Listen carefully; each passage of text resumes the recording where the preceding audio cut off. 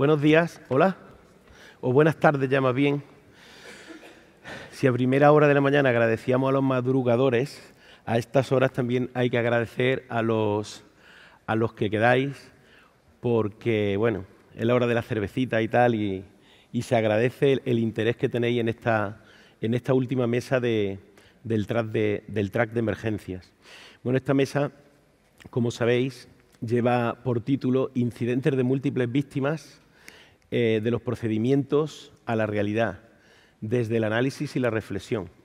Eh, realmente los incidentes de múltiples víctimas, eh, como todos sabéis, os podéis imaginar, una cosa son los procedimientos y otra cosa es la realidad, y eso es lo que vamos a hablar hoy aquí. Y para hablar, y para hablar de este tema, bueno, tengo a mi, a mi derecha a mi compañero moderador, co-moderador, porque vamos a ejercer los dos de la moderación de la mesa, Jos Tomafeo.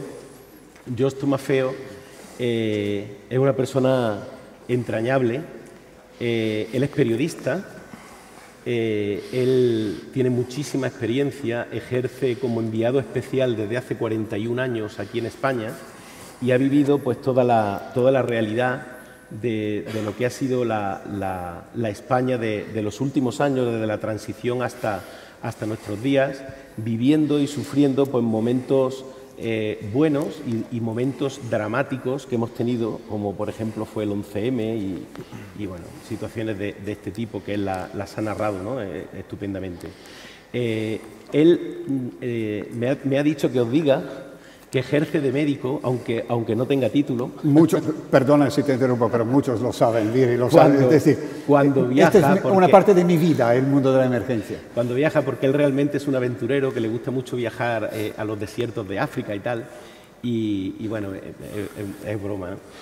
bueno, comentaros también que él es muy amigo de SEMES, él ha sido un defensor a ultranza de la especialidad de medicina de urgencia y realmente, bueno, todos los que llevamos en SEME y, ya años y tal, lo vemos realmente como, un amigo, ¿no? como una persona a la que creo que debemos de estar eh, agradecidos. Así que muchas gracias por haber aceptado la invitación, Josto. Eh, bueno, voy a seguir el, orden de intervención. En primer lugar va, a intervenir Ricardo Delgado. Ricardo Delgado es enfermero del, centro coordinador de la gerencia del, Servicio de Emergencias de, Castilla-La Mancha. Él eh, es el coordinador de la Secretaría de Emergencias de SEMES y él nos va a hablar pues, de los aspectos de, coordinación de, los incidentes de múltiples víctimas. A continuación va a hablar Jaime Gil. Jaime Gil es médico del Servicio de Emergencias Médicas de, Cataluña, del SEM catalán. Enfermero, enfermero. Ah, perdón, me dice que es enfermero. Ha sido un lapsus por mi parte. Bueno, eh, Jaime eh, ha sido ex director, eh, dejó de serlo hace, unos años, eh, del, área de servicios especiales del SEM de Cataluña. Y si habéis oído hablar alguna vez de los equipos ORCA, él realmente ha sido un poco el, inventor de, todo esto, ¿no? Y una de las personas que, ha contribuido enormemente al desarrollo de estos equipos. más a mi izquierda está José Manuel Fandiño. José Manuel Fandiño es el jefe de urgencia del Hospital Juan Canalejo de, Galicia. Él es también vicepresidente de SEME Galicia y él eh, es el que nos va a dar la visión hospitalaria, ¿no? la visión hospitalaria, por la experiencia que ellos tienen allí del accidente de eh, este desastre ferroviario que ocurrió en, el, Albia hace, ya, unos años. Y a mi derecha extrema tengo a, a Corral, Hervigio Corral eh, es el, jefe del Departamento de Capacitación y de Calidad del SAMUR, del SAMUR de Madrid. Y, bueno, Hervigio realmente, vamos, lleva toda su vida dedicado a la emergencia y, bueno, le voy a decir una cosa que nunca le he dicho y, y la verdad, bueno, yo creo que es una persona que te hace sentirte orgulloso porque él lleva muchos años dedicándose a la gestión y no por ello ha dejado de ser una persona comprometida con su sociedad, con SEMES. Y eso es algo, pues yo creo que le, eh, bueno, que de alguna forma mm, me, ha gustado destacarlo. Así que nada, vamos a empezar. Así que tiene la palabra Ricardo. Vamos a hacer intervenciones muy cortas. Van a ser intervenciones de 10 minutos, o sea que esto no va a tener nada que ver con las mesas que nos preceden. Eh, y a continuación vamos a establecer debate, con lo cual os animo a que intervengáis porque el debate tiene que ser vuestro.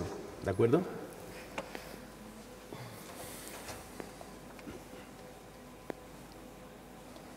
Bueno, buenas tardes ya. Muchas gracias, Fernando, por esta presentación. La verdad que para mí es un orgullo estar en una mesa rodeado de estos profesionales. Aunque soy muy alto, os puedo asegurar que me siento muy pequeño a las suyos después de tanta experiencia que nos pueden contar. La verdad que el tema que, vamos, que me han dado 10 minutos para, tratar es el tema de los centros coordinadores. Eh, esa parte que siempre está un poco a la sombra, esa parte que, que es muy gran, la gran desconocida y que bueno, en los últimos años estamos viendo que, que se está abriendo, estamos conociendo cuál es su día a día y qué mejor que una mesa de IMV.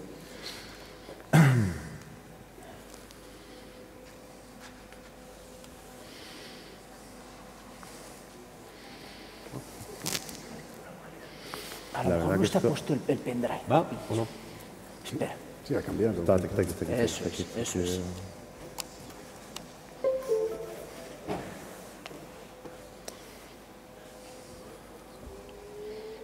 ¿Va bien o no? Ah, ya sí. Bueno, pues lo que son los centros coordinadores dentro de un servicio de emergencias, ¿vale? Tenemos una parte, unos elementos, cuando vemos bibliografía sobre coordinación, que hay poquita, tenemos unos elementos que son móviles, que son los recursos asistenciales, y una parte fija, que son los centros coordinadores.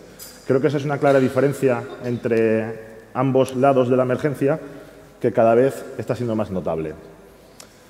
Los centros coordinadores, a modo de resumen, son los sitios físicos que tiene cada servicio de emergencias en a lo largo de cada una de las comunidades. Tenemos comunidades que tienen más de un centro coordinador y tenemos otras comunidades, como la que estamos ahora mismo, que solo tiene un centro coordinador que está ubicado en Toledo. Es un lugar donde se, se recibe, se clasifica la llamada, a modo de resumen se localiza y quizás he dejado para el final el seguimiento y el registro. ¿Por qué? Porque creo que últimamente es donde estamos dejando de hacer eh, el trabajo de la coordinación. Eh, a nivel asistencial todo es perfecto, eh, los pacientes son atendidos, pero quizá yo creo que desde los centros coordinadores hemos perdido ese seguimiento ¿no? de ese incidente, sobre todo a nivel hospitalario y cuando ya probablemente esos pacientes, por suerte, son dados de alta. Como decía el título de la intervención, digo cerebro. ¿Por qué? Porque el cerebro de todo sistema de emergencias es el centro coordinador. Siempre digo lo mismo. Podemos tener los mejores helicópteros, podemos tener las mejores UBIs móviles, con la mejor electromedicina, pero si el centro coordinador no funciona, eh, no se coordina bien con la demanda que entra. ¿Y por qué es el cerebro? Porque cuando ocurre un incidente de la temática que tenemos en esta mesa, eh, en el momento preciso del incidente, el único que conoce la situación actual de los recursos, de la actividad ordinaria, de la situación de los hospitales, cómo están los quirófanos, cómo están los voz de críticos, cómo están los recursos secundarios, cómo están los primarios, es el centro coordinador. Y por eso llamamos cerebro del sistema.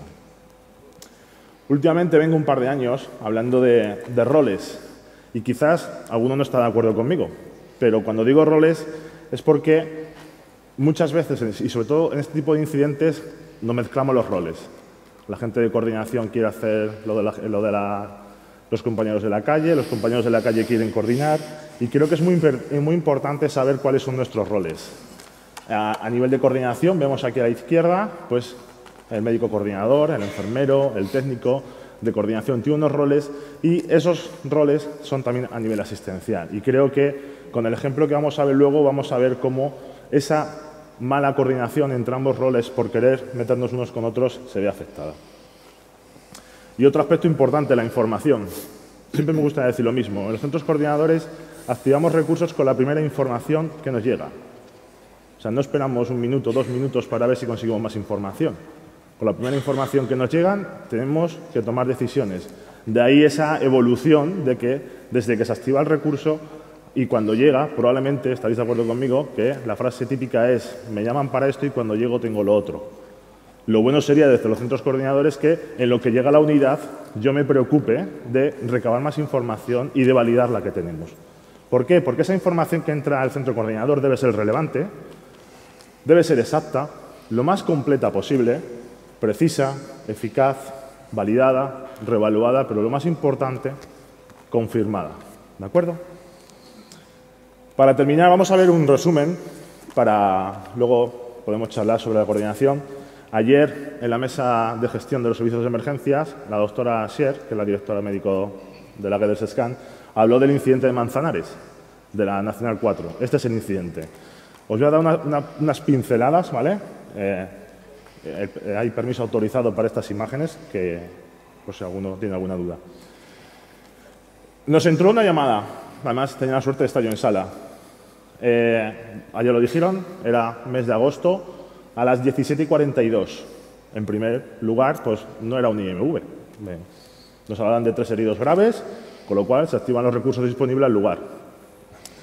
Mientras llegan, unos 18 minutos más tarde, nos entra otra llamada, que en un principio, aunque aquí veis que está localizado en el kilómetro 170, vimos que el primero estaba localizado en el 164. ¿Qué pasó? Que la segunda llamada no teníamos localización, con lo cual se generó un revuelo en el centro coordinador pensando que era el incidente anterior. ¿Y cuál fue la sorpresa de los pocos minutos? Que era el mismo incidente, pero que debido a la caravana que generó el primer incidente, uno de los vehículos arrasó con toda la caravana que tenía de coches. Y esto ocurrió pues en pocos minutos. Evidentemente, la segunda llamada, la información ya no era la misma de antes de tres heridos graves en una furgoneta. Ya empezamos a recibir llamadas de 15 coches, coches en llamas, muchos heridos, coches aplastados. ¿Por qué? Porque estamos en un centro coordinador que está integrado con el 112, que es como marca la normativa europea. Y esta información desde el centro coordinador tenemos que saber validarla y confirmarla. Y lo más importante, tratarla a la hora de saber qué tengo que hacer con los recursos. Aquí os paso unas imágenes ¿vale? de lo que allí vimos, porque ese caos no puede generar ese caos también a nivel de coordinación. Porque eh, a la hora de gestionar los recursos, la actividad ordinaria sigue existiendo. Y en este incidente, luego veréis una foto que a mí quizá la tengo cierto cariño, porque es la primera vez que de los cuatro helicópteros que teníamos activamos tres. Después de analizar este incidente, que ha sido valorado en, pues, en algunos foros, en el simposio de coordinación que hubo en Toledo también hace un par de años, la primera información que teníamos y a la que llegamos, teníamos dos negros de ese incidente, cinco rojos, dos amarillos, 38 verdes. La primera información que tuvimos del médico asistencial fueron 68 pacientes y al final acabaron 47 pacientes. Diréis, ¿esa diferencia de pacientes dónde está? Pues probablemente ante ese caos que se genera allí, muchos de esos verdes que se valoraron en un principio luego le perdimos la pista. Y por eso la información es importante tanto a nivel de coordinación como a nivel asistencial. Y yo saqué cuatro conclusiones. Y las cuatro conclusiones es que fallaron las comunicaciones. Al final esa comunicación bidireccional que necesitamos entre el médico asistencial y el médico coordinador o el enfermero coordinador falla porque se generan un volumen de llamadas exagerado y muchas veces por esa descoordinación. Evidentemente fallaron los roles porque la médico que estaba con el primer incidente fue la que tuvimos que mandarle al segundo incidente y cuando, llegó el segundo incidente pues se generó el caos de pacientes con esa información que nos llegaba. Debemos seguir trabajando con el control in situ, porque si in situ está el control y la personal profesional tiene controlado la escena, evidentemente va a transferir al centro coordinador el control de la situación. Y sobre todo, que no debemos pensar ni olvidar que el centro coordinador necesita de procedimientos especiales para la hora de atender estos incidentes.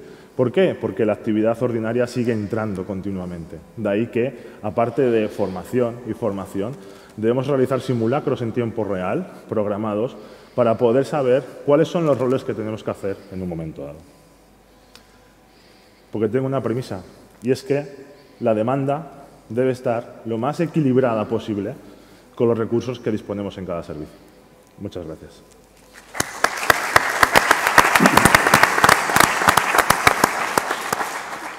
Pues el siguiente que tiene la palabra es Jaime. Eh, mientras Jaime se hace con, con el ordenador, comentaros bueno, la, ausencia de esta mesa que inicialmente en el programa estaba Gilberto Alonso, también eh, miembro de la Secretaría de Emergencias y compañero mm, eh, de, de, de, Cataluña, y no ha podido estar por un problema familiar, y también Sonia Fernández, que es la directora de Procesos Asistenciales de Galicia, que por un problema familiar tampoco ha podido estar. Así que hemos tenido, desgraciadamente, esa, esa mala suerte de no, de no poderlos tener aquí. Cuando quiera, Jaime. No, esto no. A ver.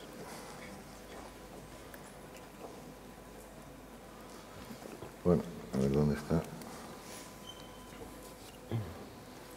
un minuto. Es que es muy fiscal. Que por cierto, uno de esos tres helicópteros... Es que no sé dónde está puesta, ¿eh? amigo mío, que llena de tierra, Alfonso Morán. ¿Cuál es? El médico. Sí, no lo pilota. Está por... Ah, vale. Eh.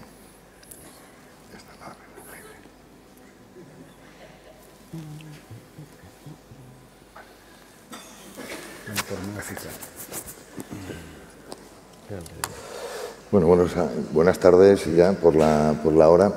En primer lugar, agradecer a la organización la, invitación a participar en, este congreso y en, esta mesa. Cuando contactaron conmigo para, proponerme la, presentación, mm, me comentaron que la idea era generar un, foro de debate y que hiciéramos un ejercicio y así me lo pedía expresamente pues, Gilberto y con quien estuve hablando y luego lo hemos comentado con el resto de compañeros, de que eh, intentáramos, eh, ya no por hacerlo menos, sino por, por- hacer realmente una sesión de, de aprendizaje en este, en, este, en este tema ya tan, tan llevado ¿no? de, de los incidentes con múltiples víctimas que, que a veces es verdad que, que llega a ser hasta, hasta cansino, ¿no?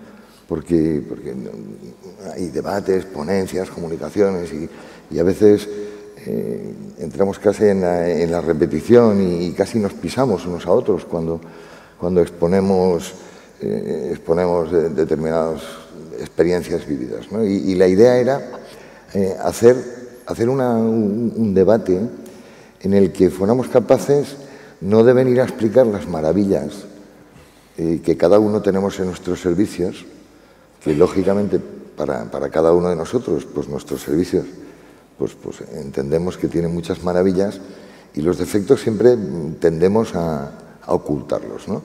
Y, y entonces, pues vamos, vamos a una jornada, hacemos una presentación y, y con humildad, pero, pero siempre intentamos dejar, dejar todo, pues bueno, pues como, como que se ha resuelto. Luego hablamos de lecciones aprendidas, pero yo, eh, honradamente, después de, de muchos años eh, en, el mundo de la emergencia y, ocupando cargo directivo, eh, llego a la conclusión de que, de que nos falta a veces un poquito de autocrítica. Y no hacemos autocrítica porque además nos molestamos. Y cuando, y cuando hacemos un debriefing de una vez ha ocurrido una, un incidente, pues tenemos que ser escrupulosos y con mucho cuidado a la hora que decimos porque nos cuesta aceptar, nos cuesta aceptar la crítica. ¿no? Y, por mucho que digamos que no y luego lo hablamos, sí, sí, sí, lo tenemos que hacer, lo tenemos que hacer, pero parece como si cuando establecemos esa, esa situación de, autocrítica y, nos, lo tomamos como si fuera un ataque personal, como si estuviéramos evidenciando ahí las carencias y los defectos de una forma individual. Yo creo que esto es un error. Eh, la autocrítica hay que hacerla porque todos los servicios tenemos carencias y defectos. Esto es así. Ni estamos todos en posesión de la verdad, ni, ni todo lo hacemos bien, ni, podemos decir que, hemos llegado a la excelencia en la resolución de un caso de estos. ¿Y por qué? Porque un incidente de múltiples víctimas, eh, esa situación que genera un número elevado de, de heridos, eh, lo que sí es cierto es que es una situación caótica. Y gestionar el caos es difícil. Y dentro del caos es muy difícil que todo nos pueda salir bien. Y, lo que sí que se hace necesario es esta capacidad de autocrítica para mejorar y para ver eh, cómo vamos a resolver el siguiente. Y el siguiente va a, ser, va a ser diferente. Y es verdad que hacemos simulacros. Y es verdad que hacemos una serie de ejercicios prácticos. Y el 99% de las veces es falso, es mentira. Vivimos en nuestra mentira. Lo acaba de decir Ricardo, ¿no? Simulacros en tiempo real. ¿Cuántas veces hacemos simulacros en tiempo real? No es cierto. Los simulacros son preparados. Y se hace un simulacro a las 12 del mediodía de un sábado, pues porque es a la hora que a nuestro político de turno le viene bien y porque es a la hora que, que los medios de prensa han pactado con el servicio que van a estar Y, no es cierto que utilicemos los recursos que tenemos ese día de servicio. Es falso. Sobredimensionamos. Estamos todo el equipo directivo, están todos los jefes de servicio ese día en el despacho. Ustedes se pueden creer que, yo cuando, cua- cuando estaba de directivo de guardia o, bueno, como director del área de servicios especiales, pues yo tengo la mala costumbre de dormir en mi casa. Yo normalmente a las 3 de la madrugada estoy durmiendo. Entonces, cuando pasa un incidente a las, a las 3 de la mañana, la respuesta es la que es. A uno le llaman, uno tiene que lavarse la cara, tiene que despejarse, tiene que ubicarse en lo que le están diciendo. Porque esto es así, a las 3 de la mañana está uno en el sueño profundo. ¿no? Y, y- y los tiempos de reacción son los que son. Y eso no va así en los simulacros. Luego, lecciones aprendidas de simulacros, pues sí, sí, pero sí, si realmente nos ponemos la mano en el corazón, pues lecciones aprendidas, muchas de la parafernalia y mucho eh, para que luego salgamos todos en prensa y salgamos bien, pero la realidad no la hemos constatado. Y si a eso le añadimos que la orden ya es mm, no utilizar las sirenas, no generemos alarma social, eh, pues acabamos poniendo los recursos a 500 metros de donde, pone- de donde se produce el incidente. En el hospital se han dado las instrucciones para que apliquen su plan interior y todo está estructurado y todo está a la mar de bien. Y con con eso a veces nos equivocamos y sale mal. Bien, pues yo eh, lo, que, lo que voy a hacer es plantear aquí un debate. Yo no voy a explicar las maravillas de mi servicio.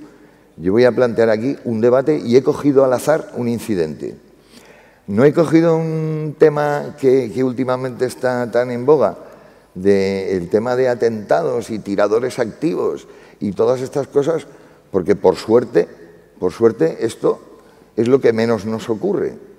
¿no? Y, he querido utilizar un, incidente, una situación que quizá es la más habitual. Para ello, eh, me he tomado la libertad de poner esta fotografía que corresponde a una intervención ya de hace años de los compañeros del SAMUR. Y, yo en esta fotografía pues diría que esto es lo que todos de los que estamos aquí estamos habituados. Esta es la respuesta estándar. Esto es lo que nosotros y cada uno de nosotros sabemos hacer a la perfección. Este es el incidente que nosotros resolvemos a diario y lo resolvemos bien. ¿Por qué? Porque mm, analizando un poquito la fotografía vemos que hay un, un solo paciente, ¿no? Que por la, imagen electrocardiográfica pues no le podemos augurar un futuro muy bueno, pero lo que sí que vemos es tres personas de amarillo, con lo cual son tres sanitarios. Luego vemos otra persona uniformada, un vigilante de seguridad, que está aguantando un, suero. Y luego también vemos otra persona en el, lado de la izquierda de la fotografía que también está agua- aguantando un suero. ¿no? Bueno, es una respuesta estándar que es un lujo. Es un lujo de asistencia, ¿no? Para un paciente están, trabajando cinco personas. Pero lo que hoy nos trae aquí y lo que nos tiene que generar el debate no es esa, es esta, ¿no? Es esa situación inesperada y que, no es posible y no nos permite tener esa respuesta estándar. Bien, y ahí es donde hemos de decir cómo vamos a ser capaces de afrontar esto. Y los recursos que tenemos son los que son. Y, no podemos entrar en, temas económicos si estamos poco dimensionados, bien dimensionados, necesitamos más. Claro, siempre necesitamos más. Siempre necesitamos más. Pero la realidad es que tenemos lo que tenemos. Y cuando se produce ese incidente, pues vamos a tener que responder. He cogido al azar un accidente que se produjo eh, en la autopista en Tarragona, un autocar con, con unos, con unos jóvenes becarios de Erasmus y donde, donde el resultado fue bastante nefasto y donde eh, podemos extraer una lectura importante para el debate.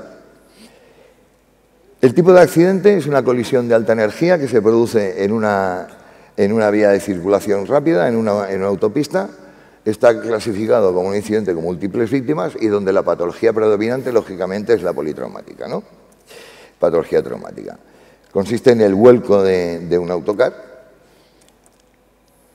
y el resultado es que nosotros nos encontramos ahí 63 afectados eh, con el resultado de 13 éxitos, 13 chicos jóvenes que, perdieron la vida en ese, en ese incidente, 34 heridos de diferente consideración y 16 ilesos. Ahí se dan todos los aspectos más negativos que se nos pueden dar. No vamos a cumplir el patrón habitual. El día de la semana es en domingo. La hora de que se produce el incidente son a las 5.55, a una hora, a una hora de que se produzca el relevo de los equipos asistenciales en las bases próximas a la zona, después de una guardia de 24 horas. Quiere decir que en ese momento, ¿cómo están esos recursos de un domingo, la madrugada de un domingo y, a esa hora, y terminando la guardia? Pues están en ese momento en que estamos todos, después de una guardia de 24 horas, y cuando estamos ya próximos a finalizar. Estamos ahí entre el sueño y la vigilia, estamos ya con ganas de que termine, estamos cansados, ¿no? Y, estamos en nuestra base, pues, pues bueno, medio adormilados, porque esta es la realidad. Alguno habrá pues, que está haciendo sus trabajos en el ordenador o leyendo algún libro. Es de noche y para efecto añadido la meteorología es adversa porque es un día de lluvia intensa. Bien, ¿dónde, radica el, primer problema? El primer problema es que tendríamos que hacerle un monumento a los tres componentes de la primera unidad que aterriza en el lugar del incidente. Porque están, están más de 20 minutos solos. Estamos en el ámbito rural, bueno, estamos en una zona de autopista, no estamos en un núcleo urbano, y allí la primera unidad de avanzado que llega, y yo estoy convencido, y así lo hablé con, el equipo, que cuando llegaron y se encontraron el escenario, lo primero que dijeron es, ¿qué hago yo aquí? Tres profesionales, un, una médico, un enfermero y un técnico en emergencias, un TEF, que, llegan, se encuentran en el autocar volcado y, se encuentran ahí una serie de, víctimas, además gente joven, y decimos, ¿y, ahora aquí, nosotros tres, ¿qué hacemos? ¿No? De noche, lloviendo, ¿y esto cómo lo vamos a arreglar? Y por eso digo de que de que verdaderamente esa dotación habría que, hacerle un monumento simplemente por el temple que demostró y el temple que tuvo. A partir de los 30 minutos, a partir de la media hora, y esto es una realidad, y yo quiero exponer aquí la realidad para generar el debate, llegan dos unidades más de avanzado y una unidad de soporte vital básico. Y seguimos para bingo. Es decir, y tenemos ahí lo que tenemos. Pasados los 40 minutos, Fijaros el tiempo que estoy hablando. ¿eh? Yo podría venir aquí a explicar maravillas, pero no os voy a explicar. Tenemos cuatro unidades de soporte vital avanzado, cuatro, seis básicas y dos vehículos de intervención rápida. Y ya, a la hora, a la hora, nos hemos desplazado al lugar, toda la, unidad de los equipos ORCA, hemos activado tres, helicópteros porque ya, ya estamos en el, en el orto, con lo cual ya empiezan a poder volar los helicópteros desplazamos un equipo psicológico y transporte, transporte colectivo. Bien, ¿qué, sacamos en conclusión cuando hacemos el debriefing? El triaje, el triaje a priori se ha hecho bien, la parte médica está bien hecha. La orientación diagnóstica coincide con los resultados que en la evolución de las siguientes horas se produce eh, con respecto a los pacientes que han sido derivados a los distintos centros hospitalarios. De hecho, prácticamente no se genera eh, nada más que tres traslados secundarios de un centro a otro. Esto quiere decir que los, pacientes, por parte del equipo que hace la clasificación, están bien triados, bien clasificados y la orientación diagnóstica es buena. Los destinos hospitalarios han sido correctos.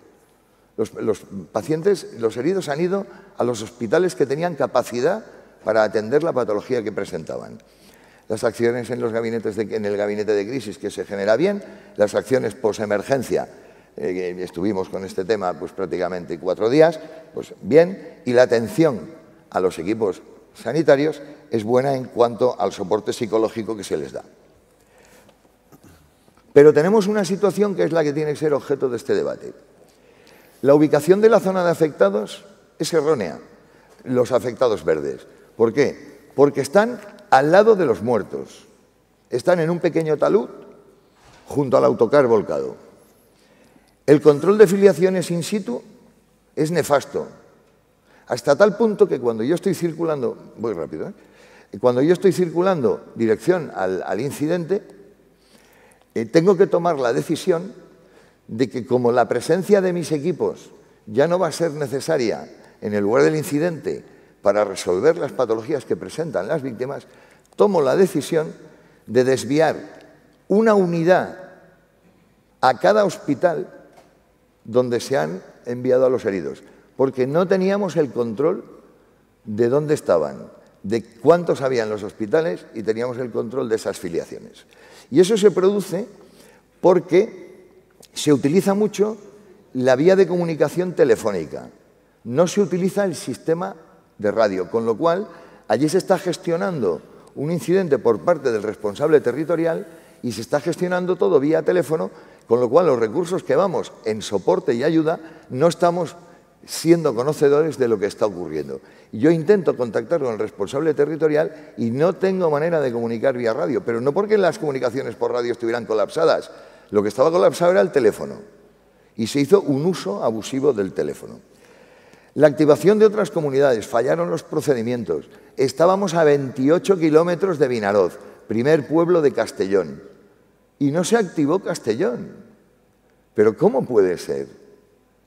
¿Cómo puede ser si estamos a 28 kilómetros? Bien, y la transversalidad de los equipos actuantes, me refiero con policía y bomberos, dejó mucho que desear, hasta el punto de que yo con el jefe de, el comisario jefe de los Mossos de Escuadra de Tráfico, eh, le dije, no cierres la, la lista de víctimas porque yo no la tengo resuelta. Sí, sí, yo la tengo porque mis policías han tomado nota junto con las ambulancias. Resultado final que tuvimos que corregir, que cuando al consejero de Interior y al presidente de la Generalidad, que hace acto de presencia en el gabinete de crisis, pues el comisario de los Mossos le informa que hay 14 muertos cuando yo le estoy diciendo que solo hay 13. Porque la policía ha contado a un muerto que tenía el cuerpo partido en dos, lo ha contado dos veces. Contó las piernas y contó el tórax. Bien, lo que dejo sobre la mesa en la aplicación de los procedimientos que fallaron, si son infranqueables, si los procedimientos realmente pueden llegar a ser una barrera infranqueable y nos puede llevar a situaciones de debate. Esta es mi presentación.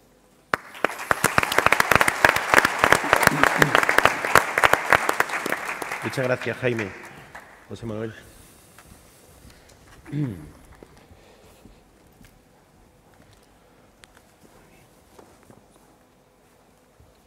Siete muertas eran chicas italianas. Sí. Me ocupé.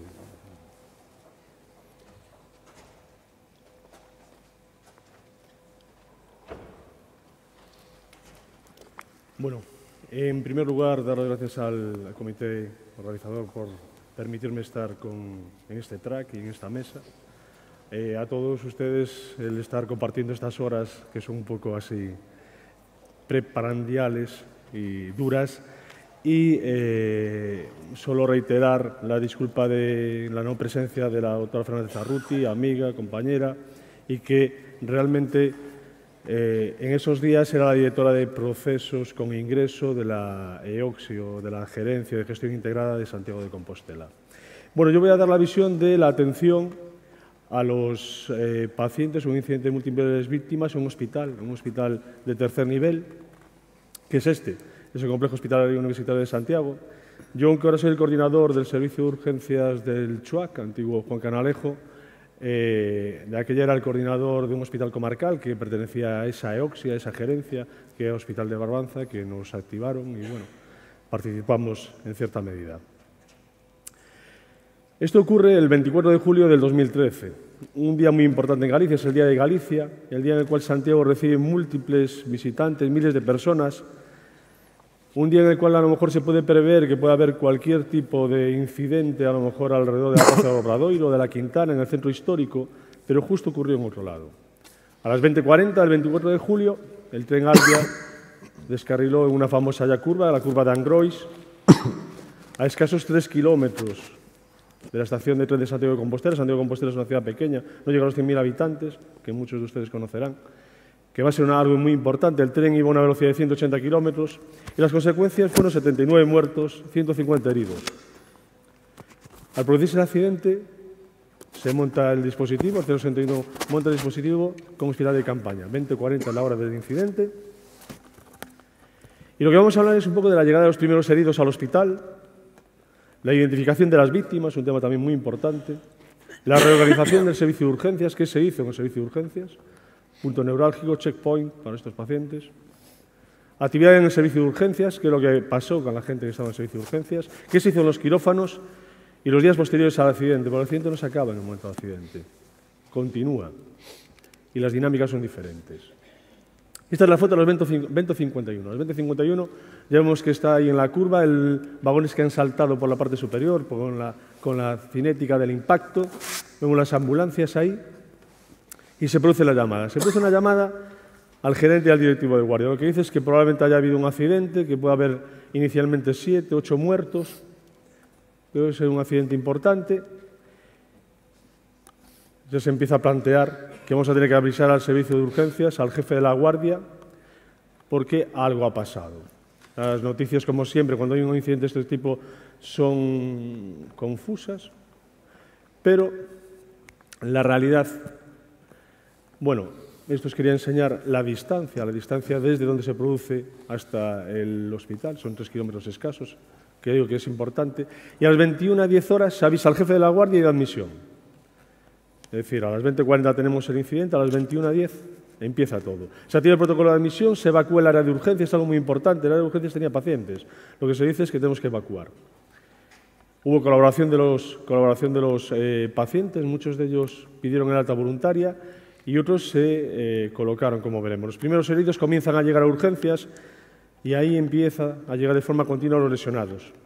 Sí que es cierto que con respecto a incidentes de múltiples víctimas, aquí ocurrió algo bueno, que empezaron a llegar los muy graves. Es decir, nuestros compañeros del 061 de emergencias hicieron un muy buen triaje y empezaron a llegar los muy graves. Estos pacientes pasaron directamente a críticos. Se monta un gabinete de crisis, algo tremendamente importante, que tiene que estar en el plan de catástrofes. Se monta además en un sitio también tremendamente importante, en el servicio de urgencia. No hay que montarlo en otro sitio. En el servicio de urgencias es donde va a estar la chicha del asunto. Los miembros son la consejera en aquel momento, la, gerente, del Sergas, que es una gerente, el director general del Sergas, el gerente de la OXI y los directivos de la OXI en el despacho, ahí el despacho del gerente. Se fue a la sala junto del servicio de urgencias. Con respecto al 061, a la coordinación con el 061, se decide que los pacientes leves saben ir al PAC de Santiago. El PAC de Santiago está enfrente al servicio de urgencias, con lo cual, si hacía falta que alguno de esos pacientes pasara al hospital, es cruzar una calle, no, es una calle, una, vía de acceso. Los pacientes graves se irían al servicio de urgencias y los pacientes intermedios se irían tanto al, servicio de urgencias de, del hospital, del CHUS, que es Complejo Hospitalario Universitario de Santiago, como en la Rosaleda, que es un centro privado. Los éxitos se irían a multiusos de SAR, es decir, los sacaríamos de ahí, los familiares se mandaban a un centro de convenciones, a un centro de, para hacer reuniones, para tenerlos allí, y las autopsias al Hospital del Coche. El Hospital del Coche está a un kilómetro también, es decir, había varios recursos ahí para utilizar. Primeras decisiones, reorganización del servicio de urgencias, llegan los primeros acompañantes familiares, aquí, bueno, como análisis de situación, se ubican inicialmente en una sala cercana al servicio de urgencias, eso no es bueno todos los que eh, sabéis de incidentes de múltiples víctimas, siempre se piensa que tienen que apartarse del área de urgencias. ¿no? Eh, se, plantea cómo vamos a identificar eh, a esos pacientes que nos van llegando ¿no? y localizar los heridos. Hay un, un, momento de incertidumbre, ¿no? porque empezamos con desconocido, desconocido 1, desconocido, desconocido 2, empieza esto. Al final se decide hacer un número de historia específico para ese incidente que nos va a ayudar y ahí empieza ya a rodar todo mucho mejor. Y más de un, millar de personas se acercan al hospital para donar sangre. Es decir, otra de las cosas que ocurren, que todos sabemos, cuando eh, existe una, situación como esta, la colaboración es absoluta, tanto de la población como de los profesionales. O sea, la gente había momentos en los que no se sabía qué, podía hacer. O sea, llega tanta gente que al final eh, vais a ver luego los servicios implicados, pero es que hasta Gine vino Gine quiso participar y se le mandó a suturar al PAC. Es decir, bueno, pues suturan el PAC. Es hay muchísima participación. Había gente que, eh, de eh, compañeros de otros hospitales que viven en Santiago o iban a, a, pasar el día del apóstol a Santiago y que se acercaron fue la ayuda impresionante. Y hay que gestionar eso también, ¿no? Otra las cosas que se hizo, se hizo un segundo triaje. Aunque nuestros compañeros de 061 traían los pacientes allí, se puso a un médico, un médico con experiencia, a triar, para que tomara una decisión clara, si era crítico, eh, inestable o si era estable. Si era estable, iba a ir a un circuito que era verle en la zona de observación, lo que se iba a hacer era valorarle un área fuera del área de críticos o de monitores, que es lo que está en el servicio de urgencias del, CHUS, y luego se pasaba a una planta, se habilitó otra planta, otra planta que, en, la, cuarta, la del servicio de urgencias está allí en la menos dos, y era como una sala de espera de resultados, un área de espera de resultados, pero apartado de la zona crítica, de la zona en la cual estábamos ahí. De ahí se solicitaban las pruebas y se hacía el acta de ingreso. Al final esto sí que se vio que fue una buena idea, tener un, compañero con experiencia y que se dedicara solo a decir qué paso yo a críticos, qué no paso, fue una ayuda a mayores. Los pacientes, la reorganización del servicio de urgencias, voy rápido entonces. Los pacientes que estaban en urgencias se solicitaron un alta hospitalaria, lo que decíamos, los pacientes graves inestables pasaron a la zona de críticos y monitores, lo que os estaba comentando. Los pacientes estables ocuparon el resto de espacios, curas, traumas, sillones, y en cada zona había un médico y una enfermera responsables. El área de observación se dio para dar asistencia a los pacientes y había otra cosa también que fue interesante, que fue el hecho de que un facultativo se encargó de priorizar la realización de estudios radiológicos, que se realizaron más de 350 estudios, con lo cual priorizaba cuál era pri- primero el que tenemos que hacer, algo muy importante. El Hospital de Conso y Gil Casares, que están pegados, Gil Casares está pegado al, al Complejo Hospitalario Universitario de Santiago y el Conso, que está a un kilómetro aproximadamente, se reservaron para los ingresos, se habilitaron para ingresos, era verano, algunas de las eh, plantas estaban eh, sin pacientes ingresados, se habilitaron. El Hospital de Conso se utilizaron recursos de soporte, se activó el área de radiología y, se- y también se utilizó para derivar la cirugía programada del día siguiente, porque la dinámica del hospital sigue funcionando. El hospital de Barbanza, donde estaba yo, se mantuvo en estado de alerta y expectativa.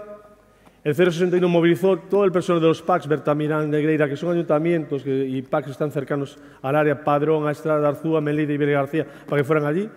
Y una vez trasladados todos los heridos desde el lugar del siniestro a los diferentes centros sanitarios, el 061 puso a disposición del hospital las ambulancias para posibles traslados secundarios, que se hicieron. Eh, una cosa también que se hizo fue, a medida que se iban atendiendo los heridos, se informaba a los familiares, se informaba de los heridos, no de los muertos inicialmente. ¿Vale? Eh, se facilitó una sala próxima con la atención muy importante de psicólogos, psiquiatras y trabajadores sociales. Y tan pronto se, se tuvo el primer registro de pacientes, la consejera de Sanidad y el gerente informaron de forma continua, cada media hora, cada hora, a los familiares.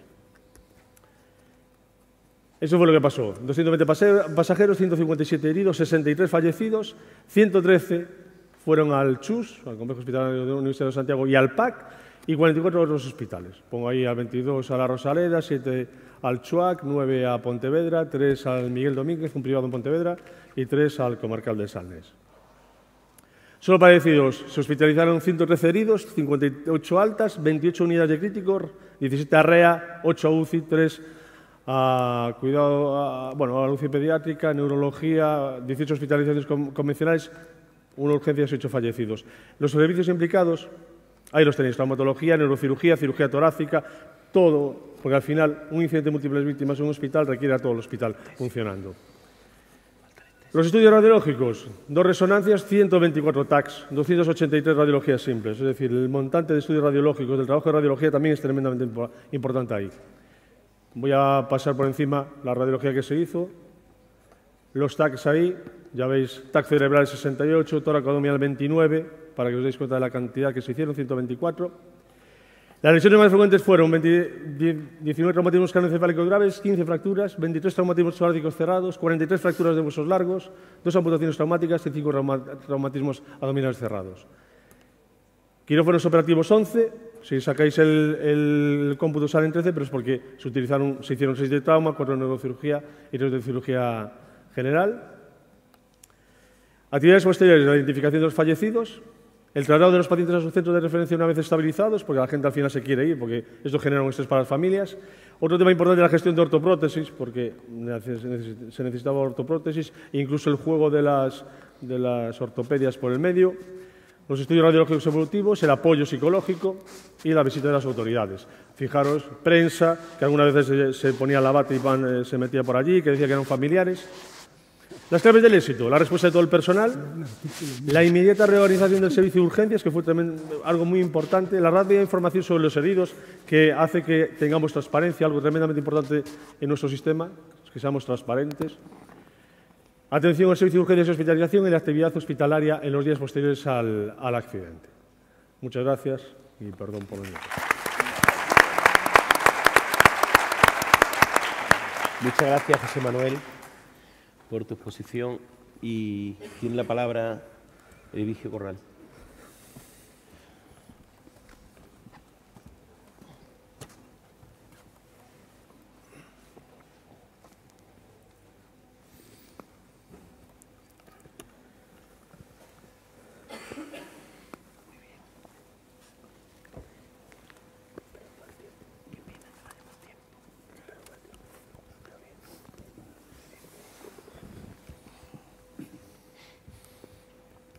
Está, ¿no? Vale.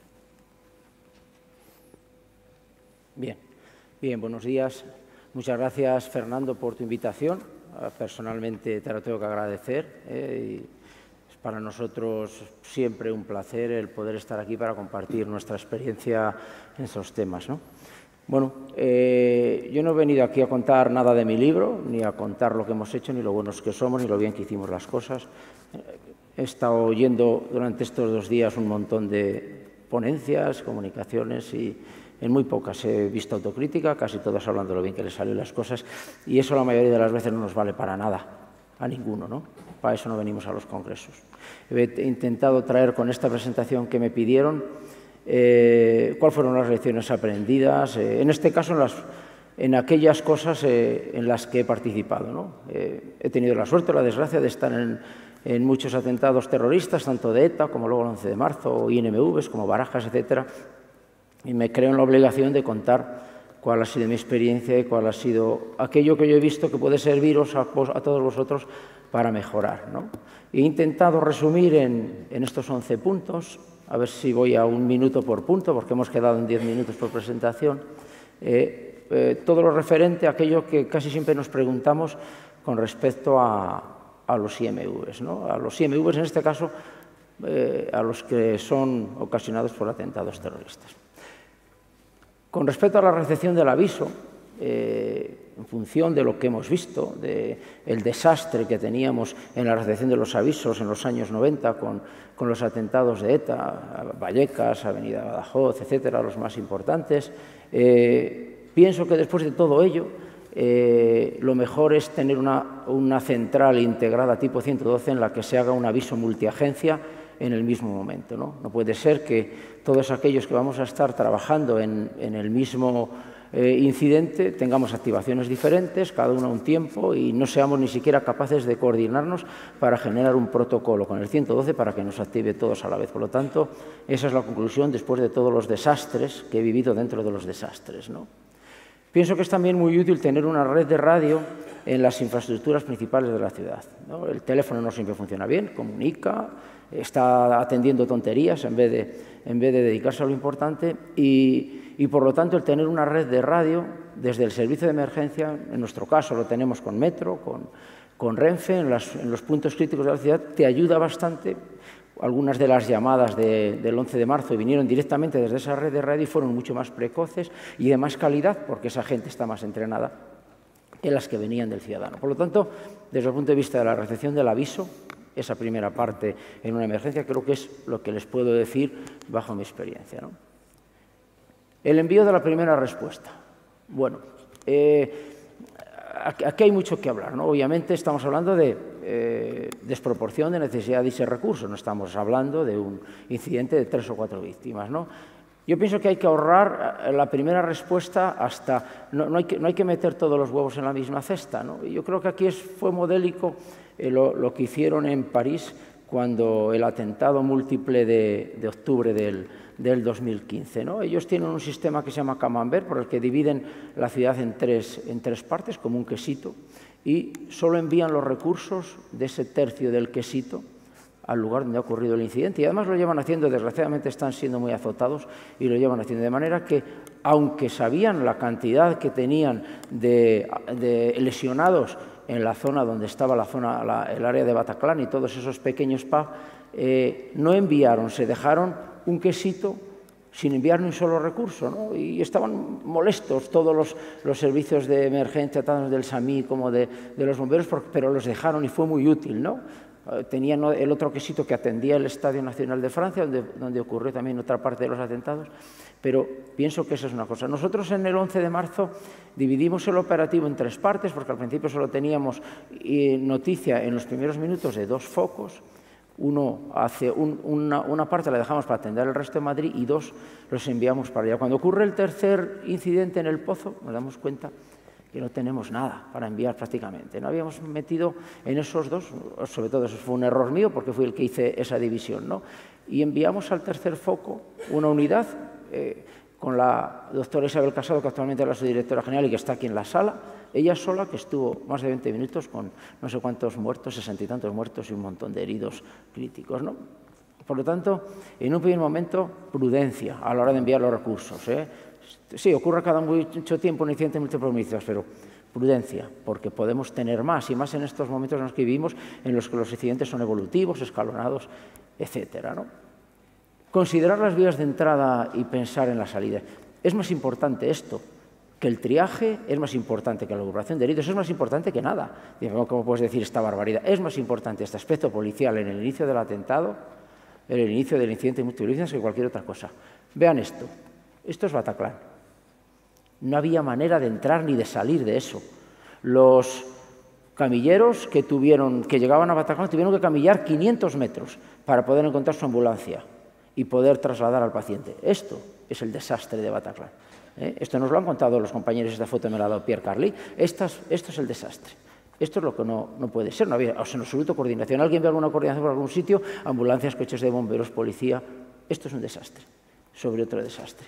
Por lo tanto, desde la central, desde un inicio, atención, todas las unidades que vayan entran por esta vía y salen por esta otra y nadie entra por esta otra y se quedan en este punto de espera.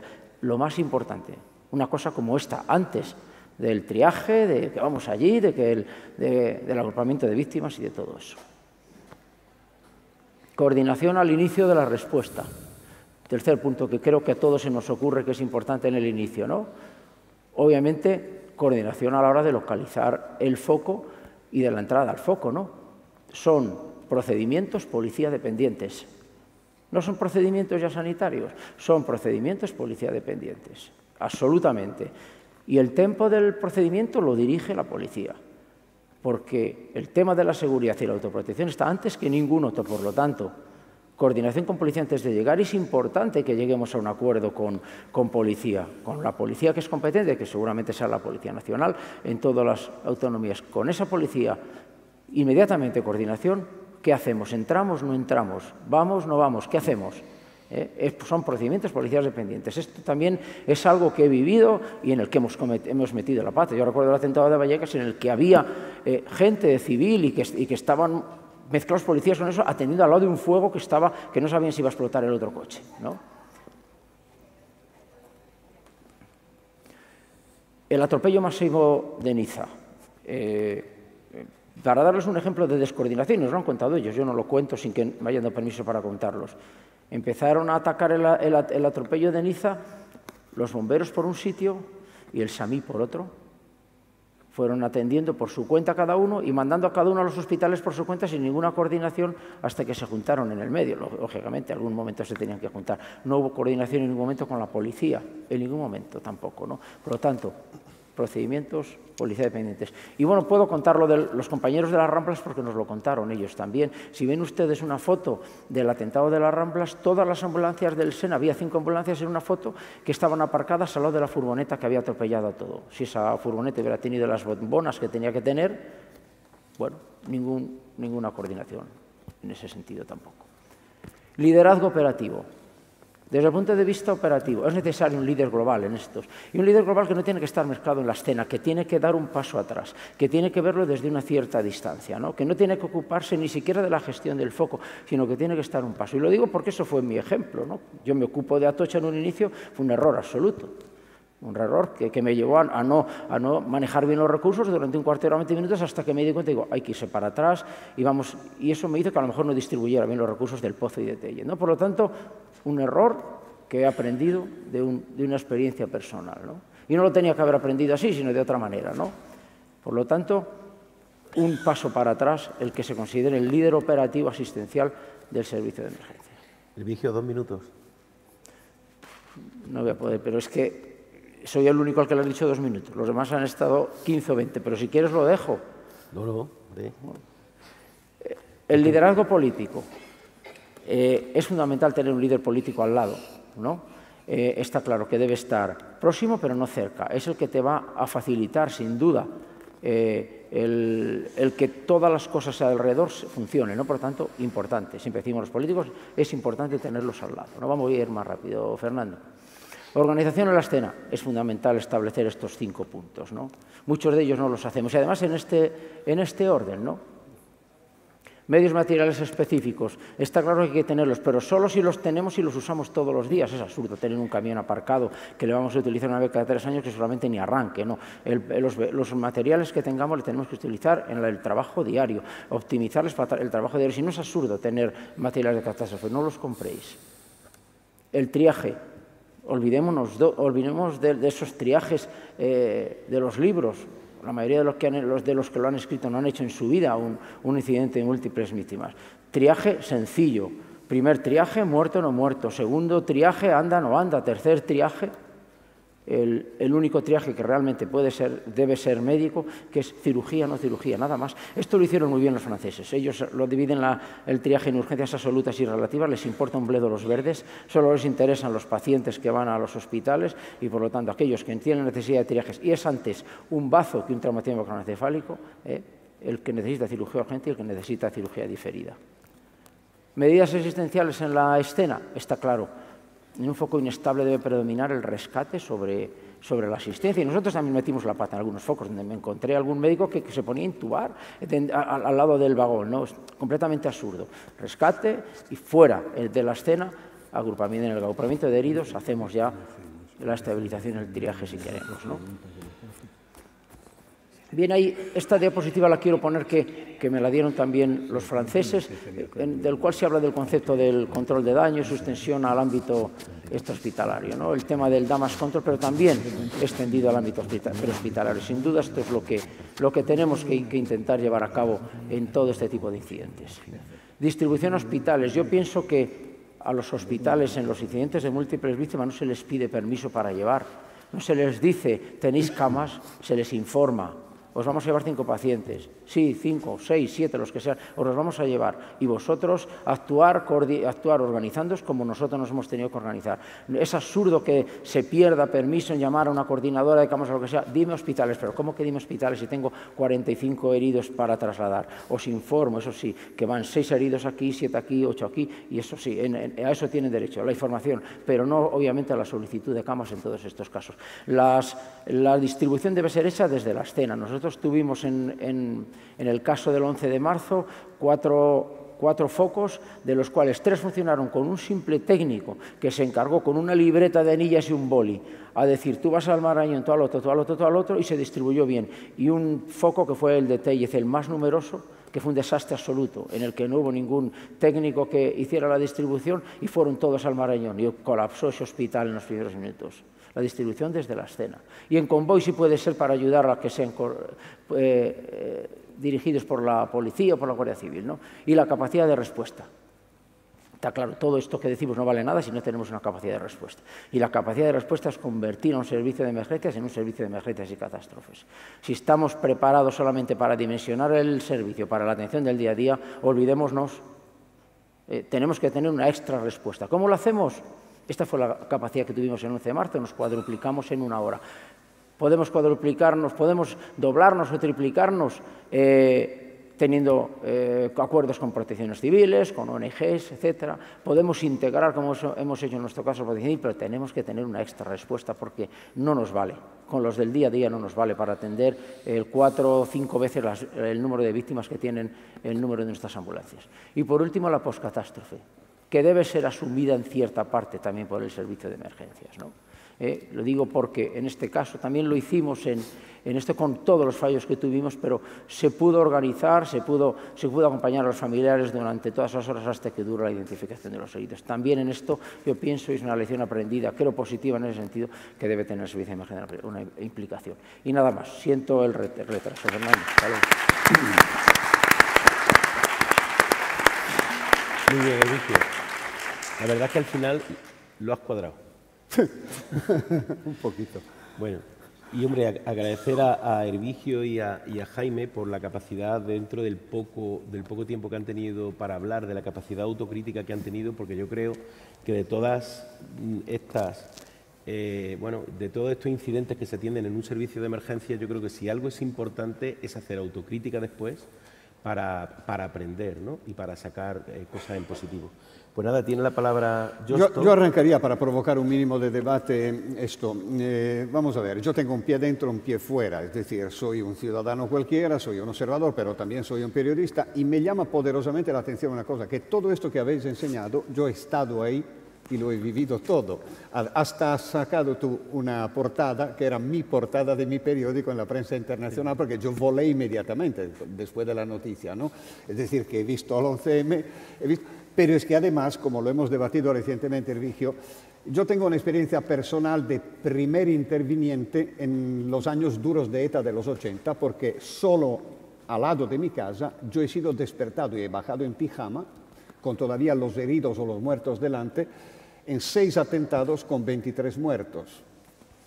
Es decir, yo me he empapado las manos en, la sangre de un guardia civil que luego murió en la clínica de Rosario, al lado de la República Dominicana, todo alrededor de mi casa. Es decir, todo ahí. Es decir, que como periodista, como ciudadano, pero también como observador muy motivado porque os conozco, os frecuento, y entonces veo que hay una constante y hay una expresión que has utilizado tú mm, que me gustaría utilizar eh, para provocar mm, una pregunta al aire, que es decir, a todos. Mm, ¿Cómo veis, según vuestra experiencia, los protocolos de actuación y de coordinación entre servicios diferentes? Es decir, bomberos, policía, SEMS, etcétera, en momentos extraordinarios como son los incidentes de múltiples víctimas de muchas facetas. Puede ser el terrorismo, puede ser la riada, puede ser el terremoto, puede ser cualquier cosa, o los atentados de entonces y los nuevos atentados de hoy. Es decir, lo de gestionar el caos, expresión tuya, Eso. ¿Cómo lo veis? ¿Hay mucho que trabajar todavía en esto? Entre servicios, no dentro de vuestro No, es para todos. Bueno, yo, yo, creo que los procedimientos son esenciales, ¿no? Que tanto en la atención individual como en múltiples víctimas, ¿no? que hay que evitar en lo posible el síndrome de yo considero, eso es lo que está matando a los servicios de emergencia y en general a los médicos. Hay que evitar ese síndrome absolutamente y que todo lo que podamos hacer para procedimentar, eh, sabemos que luego del procedimiento se va a cumplir el 50%, pero se cumpla el 50%, no el 5%. ¿no? Yo pienso que muchos de los errores que hemos tenido han sido por falta de coordinación entre los servicios de emergencia de seguridad y rescate. ¿no? Sin duda, tenemos que seguir trabajando en ello he comentado de este tipo de incidentes, son policía dependientes, tenemos que seguir trabajando en este sentido con la policía y tenemos que seguir trabajando obviamente con los bomberos, etcétera, etcétera. Todo lo que se procedimente será bueno. A nosotros nos ha dado mucho resultado en el trabajo individual la procedimentación. Nosotros no concebimos que nadie haga una cosa con un paciente que no esté sujeto a procedimientos, no lo concebimos y no lo admitimos tampoco y creemos que en este caso en los procedimientos mutualistas falta todavía mucho camino por andar, pero hay que procedimentar, hay que trabajar mucho con ellos. Sabemos que es muy difícil, diferentes cadenas de mandos, diferentes filosofías, diferente formación, pero hay que procedimentar todo lo que se pueda con esto. Jaime, ¿tú cómo lo ves desde Cataluña? Sí, yo eh, estoy totalmente de acuerdo con, con el vigio, ¿no? y, de hecho hay que procedimentar, y, pero el procedimiento no puede ser un corsé, eh, porque eh, no debemos... Nosotros se debe tener un cuerpo doctrinal y tiene que haber un procedimiento, evidentemente, pues para una serie de situaciones. Pero hay otras que, que el procedimiento eh, debe ser continuamente variable. Porque Lo tenías en una pantalla tú. los escenarios son variables, los escenarios, Mm. y entonces procedimentar, nosotros podemos procedimentar cómo actuamos en un código ictus, podemos procedimentar cómo se, se resuelve el código IAM y qué, medicación y, cuál es puede ser el proceso de, intubación de un paciente y cuáles son los fármacos que vamos a utilizar. Y hay otro tipo de procedimientos, sobre todo aquellos que intervienen actores cruzados, que, que yo creo que, que muchas veces lo que hay que aplicar es el sentido común, aunque es el menos común de los sentidos, ¿no? porque en ocasiones el procedimiento encorseta. La interrelación con otros operativos eh, funciona bien, pero hay una, hay una cuestión que es real. Hay una cosa que, que yo sí lo he vivido, no sé, Vigio, vosotros, y es la obsesión que hay siempre por el listado de las víctimas y la obsesión por ver quién es el político que lanza primero la información. Y ahí tengo que reconocer que los de, los de salud siempre nos quedamos atrás. O sea, yo tengo la sensación, y, lo digo con todos los respetos, eh, que siempre es más potente el consejero de Interior que el consejero de Salud, siendo los dos consejeros.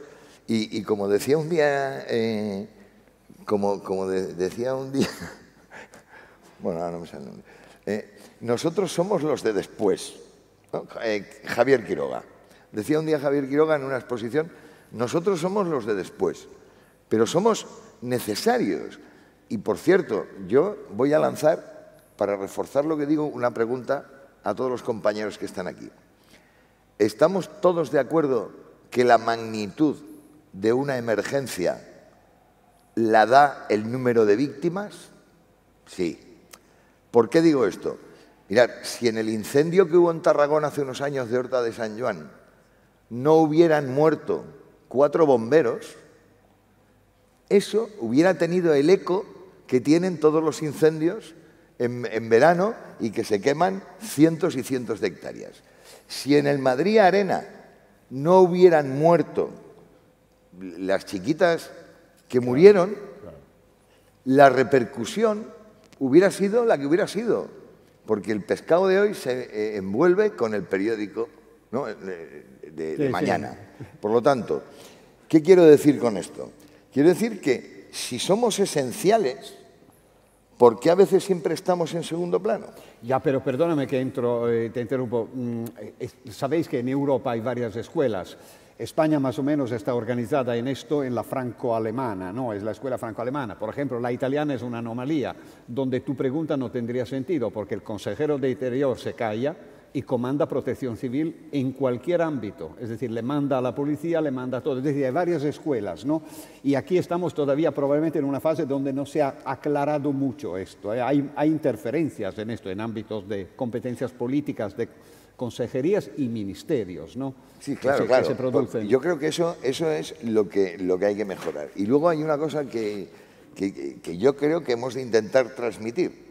Y, solo podemos transmitirlo de una forma y es no entrando en el juego. Y es esa presión que se ejerce con el tema de la, de la información a priori. Yo, yo he puesto como, como ejemplo el incidente este de Tarragona. O sea, yo es que le tuve que decir a mi director general, mira, no me llames más porque no te cojo el teléfono.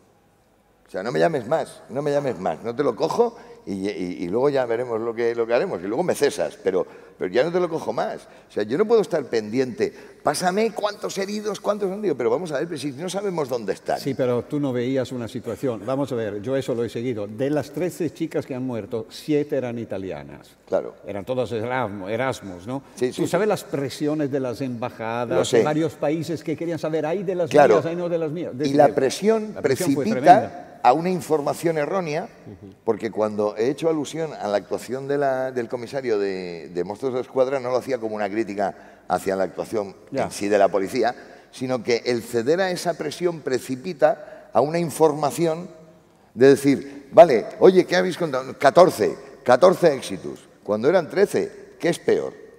La pregunta que yo hago es, ¿qué es peor? ¿Retrasamos esa información y la intentamos dar de una forma fidedigna.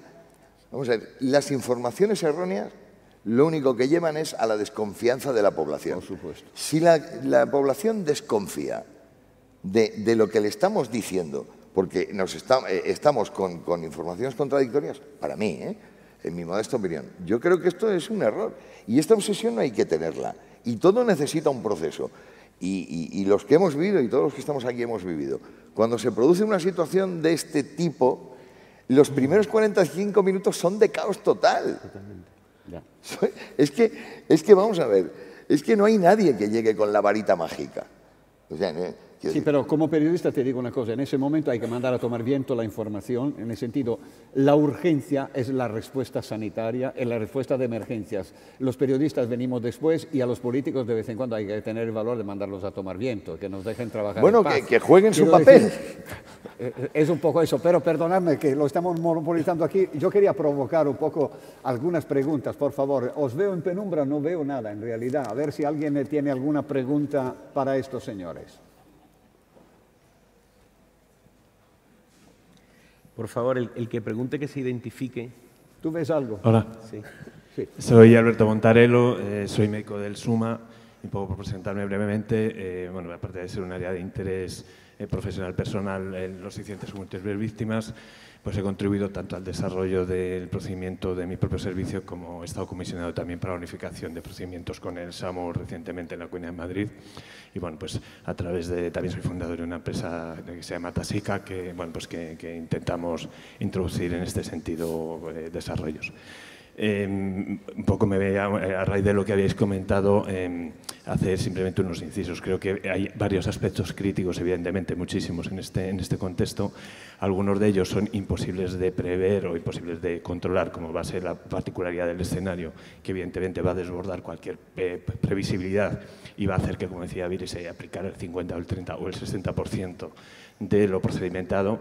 Pero bueno, en este sentido, eh, yo creo que es importante la formación, pero muy complicada. Hay que formarse para equivocarse lo menos posible, pero la formación a través de simulacros presenciales es muy poco coste eficaz. Habría que buscar métodos más prácticos, más efectivos, a lo mejor de formar a la gente en sucesos que son muy poco frecuentes y por tanto van a ser difíciles de entrenar.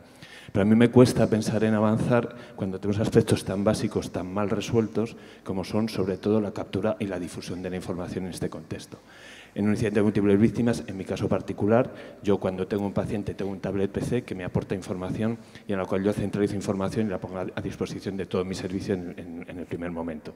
Pero si en vez de un paciente tengo 20 o tengo 30, lo tiro, lo aparco, me cojo un boli y un papel y empiezo a registrar las cosas y aparco esa, esa, tablet que está conectada a 3G y si falla pues tiene conexión, posibilidad de wifi, tengo otra consola en, la ambulancia que también está conectada, con la que yo habitualmente vuelco mis datos y los pongo al servicio de mi centro coordinador y lo cambio por una transmisión mediante un radiocomunicador con un canal de, de un ancho de banda tan corto como es el de la voz, con una tanta vulnerabilidad para el error y jugamos al teléfono escacharrado y entonces vamos transmitiendo toda esa información.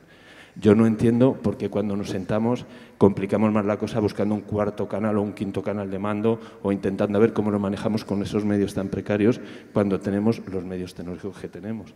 Decir, yo no entiendo todavía por qué no haya herramientas que nos ayudan a capturar la información en el momento, a centralizarla y en ese momento me da igual el político, me da igual el, consejero, la va a tener con el perfil de, acceso que le corresponda, va a tener la misma información en tiempo real que nosotros. Entonces, el verdadero debate para mí es eso. Por supuesto, hay que formar, hay que procedimentar, hay que estudiar, pero estamos recurriendo todavía a métodos del siglo XX y yo no percibo una conciencia de que eso de verdad sea una urgencia de cambiar para poder avanzar. Me gustaría saber vuestra opinión. Yo, per, perdona, yo pienso que lleva toda la razón. Eh, la verdad es que hoy en día la única forma, creo, o la más efectiva que hay de, bueno, mm, eh, prepararse, entrenarse en este tipo de situaciones es mediante la realización de simulacros. Simulacros bien trabajados, bien hechos y lo más real posible, incluso hasta que la gente que tiene que intervenir pues, eh, sepa lo menos posible de, de, ese simulacro que va a tener lugar. ¿no? Eh, realmente es complicado organizar un simulacro y no sé por qué se hacen tan pocos simulacros. Yo le lanzaría esa pregunta a los compañeros a, a, ver cuál es el motivo de que se hagan tan pocos simulacros, porque realmente es la única forma de formarnos ante situaciones de ese tipo que nos, puede, nos pueden venir en cualquier momento y cualquier día del año, sin Fernando, una pequeña apostilla a tu pregunta. Me añado en cola simulacros programados, simulacros de repente que lo sepan solo dos o tres elegidos, simulacros por ordenador. Es decir, la palabra simulacro abarca muchísimas formas y cada país tiene además su historia de simulacros. Bien. Mira, yo creo que con respecto a los simulacros que dice el compañero, a nivel de coordinación en los centros coordinadores, los simulacros es coste cero. Tengo la suerte de conocer todos los centros coordinadores de, de este país y al final lo que pasa es que debido a la normativa europea con el 112 ya no es que tengas que gestionar el simulacro con tu propio servicio, sino que por ejemplo aquí en Castilla-La Mancha y en muchas comunidades el 112 no, no pertenece a sanidad, pertenece a interior, administración, con lo cual es más complejo. Si ya, si ya es complejo vender a tu servicio, que vas a hacer un simulacro real, y yo, yo, estoy, yo estoy por el real, porque al final programado estamos en España, y cuando lo saben dos, lo saben cinco, y cuando empieza el simulacro todo el mundo sabe lo que va a pasar. Claro. Con lo cual, simulacros programados al final no sirven desde mi punto de vista.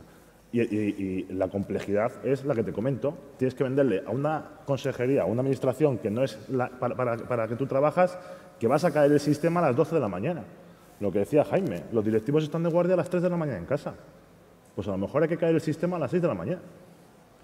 En, ese sentido, efectivamente, hablar de coste eficaz no solamente en términos económicos, sino de esfuerzo. Es decir, eh, un buen un servicio mm, como puede ser de Madrid, el SAMUR en suma, igual hace uno o dos grandes simulacros con mucho esfuerzo a lo largo del año. Yo en ese sentido creo que hay técnicas de gamificación para aprender. Es decir, una operativa se puede interiorizar jugando en un videojuego.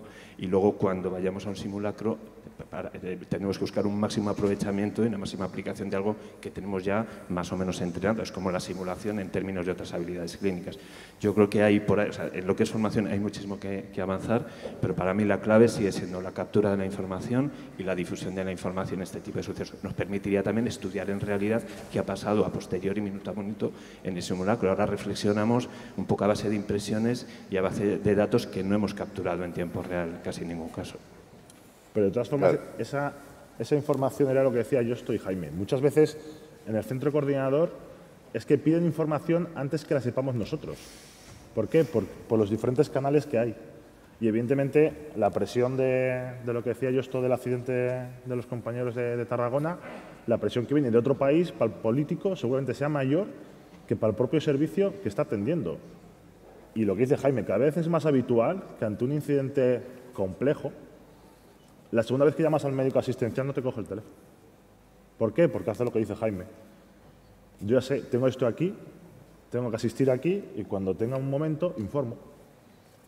Pero Y- la presión internacional la hay siempre, en todos los que habéis citado, por ejemplo, en, eh, en el 11M, Sí, claro. en Angrois. ¿Por qué? Porque Santiago, ciudad turística, Madrid, ciudad turística, Barcelona, siempre hay la sospecha, y multiplícalo por número de embajadas y de gobiernos extranjeros, de que hay algún ciudadano implicado.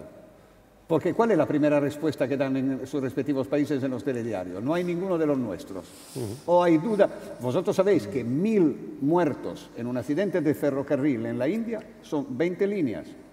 Un español que se ha perdido por gilipollas en el Nepal, llevamos una semana detrás de él, co- con perdón. Pero es que es así. Bueno, Es yo así. también quería decir con ¿Y de respecto a lo la mío qué, no? coordinación- Con respecto a la coordinación, que no solo es la coordinación externa, es decir, yo creo que, lo que en los hospitales ocurre una cosa similar.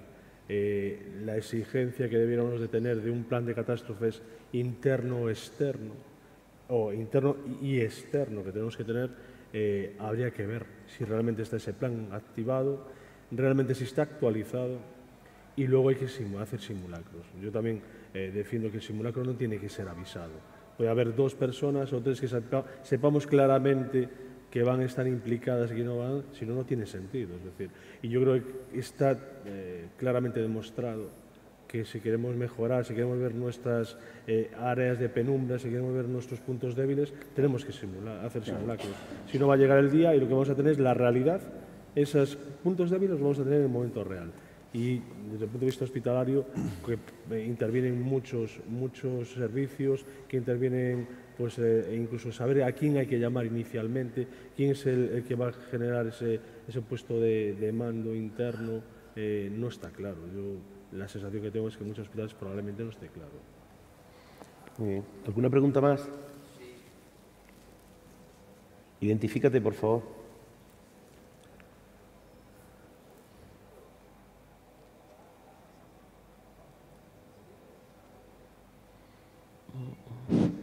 Sí. Hola, buenas tardes. Soy Rafa Castro, soy médico asistencial del SAMU Asturias. Coordino el grupo de, de IMV del SAMU Asturias y una unidad de investigación en emergencias que tenemos en la Universidad de Oviedo. Eh, me han gustado mucho todos los ponentes. Eh, eh, realmente el, el compañero de Cataluña ha dicho una palabra que la he apuntado, ¿no? y ha dicho literalmente cansino, en buen sentido de la palabra, y es que llevamos muchos años hablando, digamos, bueno, de cosas, yo creo que en cualquier congreso SMS de hace 15 años habríamos dicho el problema, el problema de las comunicaciones, probablemente, ¿no? Eh, y entonces es- yo creo que hemos entrado en un bucle que es difícil salir, y yo creo que la manera de salir es con la investigación. Es decir, eh, en tema de IMV estamos a nivel de a propósito de un caso. ¿no? Contamos lo que hemos hecho, los problemas que hemos tenido. Son muy, es muy interesante saber cómo son casos muy, eh, digamos, epidemiológicamente raros, pues es muy interesante compartirlos. Pero yo creo que llegó el momento de hacer algo de investigación, algo que es muy difícil en el tema de los IMVs, pero tendremos que encontrar las herramientas de investigación adecuadas. Tenemos métodos cuantitativos, métodos cualitativos, los mixed methods, es decir, hay herramientas que, bueno, habrá que intentar trabajar con ellas para ver si realmente podemos saber algo. Eh, me ha gustado también por parte del compañero de Cataluña que utilizarse un ejemplo de un autobús. ¿no? Yo creo que también en el campo de los IMVs todo esto del NRBQ, atentados terroristas, es algo para lo que tenemos que estar preparados, evidentemente, pero en cierta medida tengo la percepción que contamina un poco la realidad diaria de los sistemas de emergencia. Nosotros en Asturias hemos creado un registro de IMVs donde participan, y espero que no se me olvide ninguno, Galicia, Asturias, Santander, País Vasco, La Rioja, Aragón, Baleares, y no sé si se me olvida alguien. Cataluña, recientemente, ¿no? donde estamos recogiendo las características epidemiológicas de los IMVs para analizarlas, porque realmente estamos hablando de una, si somos eh, sanitarios, estamos hablando de una patología, entre comillas, que no hemos descrito, que no la conocemos. Entonces el primer paso es conocerlo para ver a qué nos enfrentamos y llegar a unas conclusiones científicas hasta donde se pueda, porque evidentemente es, es difícil. Eh, los procedimientos, de nuevo también el compañero Cataluña, los procedimientos nos encorsetan pues un poco. Me acuerdo en Asturias cuando empezamos hace 15 años o más con esto, eh, están lo que yo llamo los ISIS. Los compañeros decían, ¿y si pasa esto? ¿Y si pasa lo otro? ¿Y, si-?". y acaban preguntando, ¿y si cae un meteorito? Mira, chico, yo te doy herramientas para solucionar el 90% y lo demás, pues tendrás que apañártelas con estas herramientas. Eh, y luego algo que ha comentado eh, en relación al triaje, todos intentamos elaborar herramientas que nos ayuden a tomar decisiones clínicas en entornos complejos. ¿no? Lógicamente, lo primero que tenemos que hacer es diseñarlas con la mayor evidencia científica que se pueda, que es muy poca, que es muy poca. Y una vez que diseñemos herramientas X, las que sean, ver si funcionan o no funcionan, pero siempre aplicando el método científico. Entonces, volviendo al principio, ¿cómo salir de este bucle cansino, muy entre comillas, y en un sentido totalmente positivo, ¿no? Yo creo que es- tenemos la herramienta delante y es la investigación, sin más. Una investigación que es mucho más difícil que investigar sobre la neumonía adquirida en la comunidad, por ejemplo. Y luego, otra, ot- sobre un último apunte en relación a los simulacros. De nuevo, yo creo que llevamos mucho tiempo saltándonos un paso en la formación de nuestros sistemas de emergencia. Se elabora un procedimiento, se le cuenta a los compañeros y a continuación pasamos a hacer un simulacro. Es que llevamos años enseñando de RCP y no lo hacemos así. Enseñamos RCP, un instructor acompaña al alumno para que adquiera los conocimientos de RCP de manera parcial, de manera integral, y al final del curso de tres días, pues se le hace un simulacro de RCP. Entonces nosotros en Asturias lo que hemos incorporado es la figura del monitor que guía a la persona que está en un simulacro o ejercicio parcial, entre comillas, guiándole sobre qué tiene que hacer y si hay que parar el ejercicio se para, para parar a dar explicaciones de nuevo a todos y continuar con el ejercicio. Y el simulacro ya llegará. No sé lo que pensáis, eh, son muchas ideas las que he puesto, pero sí me gustaría saber vuestra opinión. ¿Alguno quiere intervenir? Eh, yo creo que los simulacros es mejor que nada, ¿no? Eh, no sé dónde he oído en una ponencia también que en ese sentido, yo, miren, nosotros, eh, nuestros simulacros son unas formaciones, las podemos llamar simulacros o como quieras, en las cuales lo que queremos es que la gente adquiera hábitos. ahora mismo estamos haciendo 16 simulacros con la Policía Nacional, con, la Unidad de Intervención Policial, con los antidisturbios y la Unidad de Prevención y Reacción, en la que se forma toda la Unidad de Intervención Policial de Madrid con todo el SAMUR. Los 800 miembros de SAMUR con los 900 miembros de la Unidad de Intervención Policial, todos, unos con otros. Eso si tú lo llamas simulacro, llámalo como quieras, yo lo llamo formación. A todos los obligamos a entrar en una estación de tren, a recoger a 12 o 15 víctimas reales, que hemos caracterizado y que hemos puesto como tal, y los tienen que sacar bajo fuego, porque pegamos tiros y todo, eh, en cómo lo haríamos cuando estuviéramos en un atentado de esos, protegidos con ellos, con escudos balísticos, nosotros con la protección balística, etcétera. ¿Eso lo llamo simulacro y que no vale? Bueno, como quieras. Yo, a mí me parece que eso sí vale y que cada uno de los miembros de SAMUR y sobre todo de policía que nunca se habían formado en esto, ¿eh? cada uno de ellos que lo está haciendo, cuando le ocurre una vez dice, ah, una vez hice hace no sé cuánto con estos tíos del SAMUR y tuve que protegerles con unos escudos balísticos y tuve que sacarles mientras pegaban tiros desde atrás y me echaba la bronca el policía jefe que, porque no estaba cubriendo los 360 grados, porque dejaba que entraban las balas por aquí o por allá. Y nuestra gente no se agachaba, no reducía silueta, no cogía al paciente en función de unas características mínimas, no le ponía, no se dedicaba solamente a poner el torniquete en el hemostático, sino que hacía tonterías como mirar vía aérea o no sé qué y no sé cuál, en fin, les estamos enseñando a cambiar el concepto en este tipo de incidentes. Eso si tú lo llamas simulacro sí que no vale, para mí es una formación que, cambia, que cambia hábitos. Tú a los simulacros les llamas simulacros, yo los llamo formación. Si quieres, llámale de otra forma, son formación. ¿eh? Y todo el mundo que se haya visto inmerso en un simulacro de estos, ¿eh? no lo olvida jamás. Y cuando le ocurra, seguramente tendrá más experiencia para cometer ese incidente que si no lo hubiera hecho. Por lo tanto, lo consideramos positivo. Llevamos cuatro años entrenando con el ejército, con la Brigada de Sanidad Militar y con la Policía dos años. Toda la gente en Sabur sabe ya, por lo menos, cómo vestirse con un chaleco antifragmentos y un balístico, sabe cómo protegerse detrás de la Policía Nacional, sabe que ellos son los jefes, lo más importante, sabe que ellos son los jefes, que ellos no deciden nada, ni siquiera el paciente que cogen, ni siquiera el tiraje que tienen que hacer, porque si aquella zona está peligrosa no van a entrar allí, aunque, estén allí los graves y aquí el leve, hasta en eso no saben que no son competentes, por lo tanto les hemos cambiado el concepto. Si se lo llama simulacro, que no vale, pues es simulacro, no vale. Yo lo llamo formación y lo, llamo coger unos hábitos. ¿eh? Unos hábitos que hay que enseñárselos de forma obligatoria a todos los componentes del servicio policial y, eh, sanitario. Y a mí me parece que eso vale. Yo no he dicho en ningún momento que los simulacros no van. Yo entiendo que ese programa es un proyecto de formación integral en el cual acabáis con ese ejercicio pero yo en ningún momento he dicho que los simulacros no sirvan. He dicho que en ocasiones, y a nosotros nos ha pasado, han estado mal orientados porque no forman parte de un programa integral de formación. Pero lo que estás contando es que en vuestro caso forman parte de un programa integral de formación, lo cual es adecuado, pero en ningún momento he dicho que los simulacros no sirvan. Que a lo mejor está mal orientado, pero es mejor que nada. No digo que lo hayamos orientado bien, pero es mejor que nada. He hablado de nosotros. Bueno, la verdad es que hacer 16 ejercicios de ese tipo a lo largo del año en un servicio, ojalá y lo estuviera yo. Bueno, ¿alguna pregunta más? Breve, por favor. Sí. Y la respuesta breve. Va, sí. Porque estamos ya llegando. Sí, estoy aquí a tu derecha. Sí. Fernando, a tu derecha visual. Es el champi. El champi. Ah, gallete, que alguien allí está señalando. Dime. Ah, vale. Soy Andrés Pacheco, de, sí, sí. del Servicio de Emergencia Castilla-La Mancha y del Grupo de Transporte Medicalizado.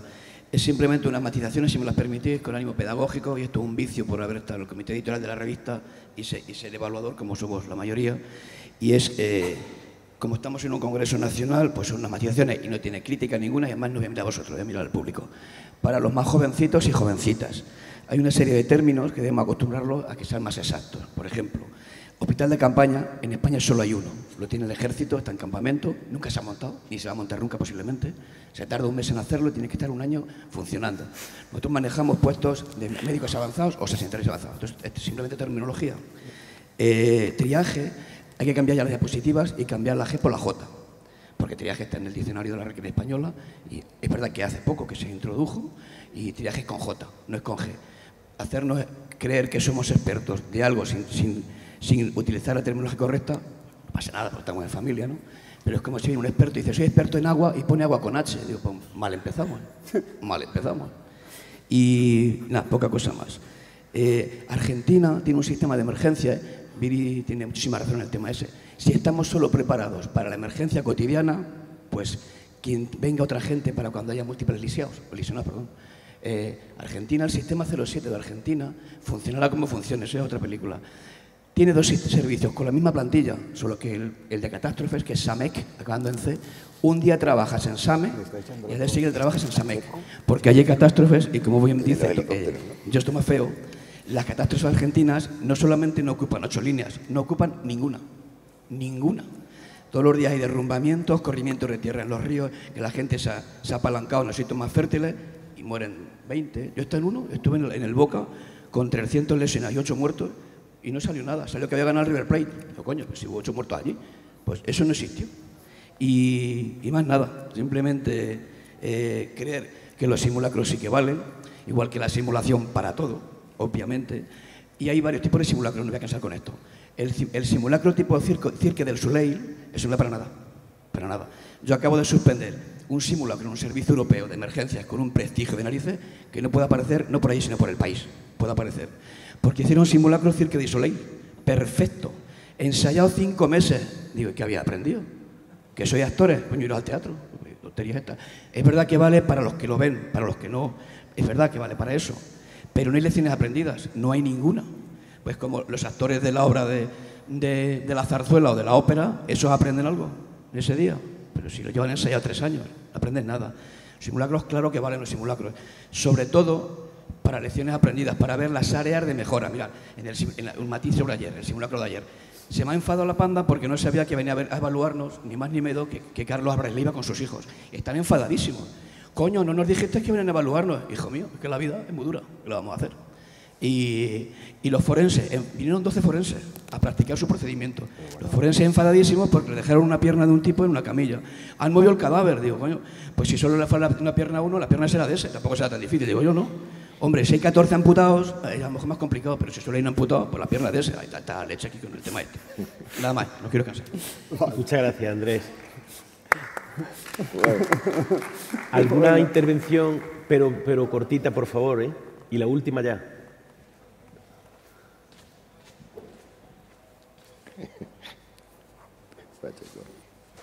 Hola, buen, buenas tardes. Seré, breve. Soy Lázaro Jiménez, actualmente médico del operativo de SAMUR Protección Civil y he sido médico militar. Yo no soy jefe, soy indio, me gusta el barro, como a todos los emergencistas. Yo quería hacer una aportación con respecto a mi experiencia en los simulacros. Efectivamente, debe de haber dos tipos de simulacros, uno organizado y otro que se haga al azar, para evaluar la competencia de un servicio de emergencia en situaciones reales. Pero yo cuando he participado, no como organizador, sino como interviniente en un simulacro organizado, a mí sí me ha servido de mucho. Yo digo mi experiencia. ¿Qué he aprendido yo? Una de las cosas importantes, mi capacitación física. Me han enseñado a camillear, porque cuando hay pocos recursos, a lo mejor el médico, un médico que no tenga experiencia, se tiene que poner a camillear y tiene que saber si está capacitado para eso o no. Y eso se puede aprender en un simulacro organizado. ¿Qué se aprende también? Pues yo he aprendido en un simulacro organizado cómo se organiza el PSA o el puesto sanitario avanzado en situaciones de estrés, en situaciones donde hay muchas víctimas, muchas, víctimas gritando. Entonces yo pienso, yo pienso que sí son necesarios. También una aportación desde la vida militar, que creo que es una cosa que todos los servicios de emergencia eh, deberían de hacer. Ahora en SAMUR se está haciendo y yo lo alabo porque me gusta, cuando las primeras misiones en el ejército que yo, que yo fui, cada ejército iba a su bola. Los americanos iban a su bola, los españoles íbamos en un PSA, no nos relacionábamos. Llegó Irak y llegó a Afganistán, la guerra. Se vio que cada país no podía aportar tantos recursos, eso no era, eso no era productivo, no era eficaz. ¿Qué se hizo? Unificar, unirnos. Yo he estado en un rol 2 con un cirujano búlgaro, un traumatólogo chino y un intensivista americano. Es decir, hemos unificado, deberíamos participar en simulacros con diferentes comunidades. ¿Para qué?